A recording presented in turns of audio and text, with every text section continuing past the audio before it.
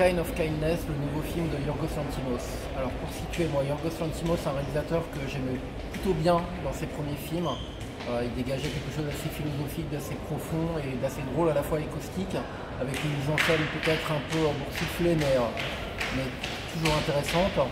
J'aime moins ces derniers temps, depuis qu'il est passé euh, du côté obscur de la force, de mon, point de vue, c'est-à-dire du côté un petit peu industriel, avec un soin certes de l'image, du costume, du décor, mais euh, au détriment pour moi de la narration et surtout il est devenu très limpide.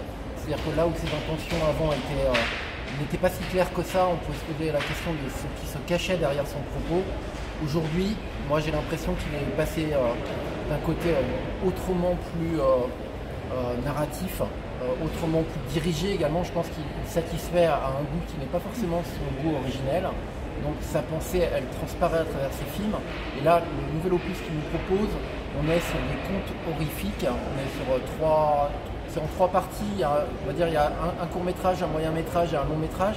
Le plus valable, le plus intéressant, c'est le long métrage. On n'est pas très loin d'Edgar Allan Poe, mais on est dans quelque chose d'un peu plus moderne.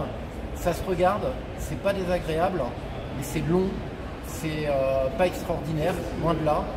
Et euh, finalement, on se pose la question pourquoi le film est en compétition? Parce que euh, si c'est juste euh, pour le côté décalé qu'il peut y avoir de certaines propositions horrifiques, justement, bah, ça suffit pas en fait.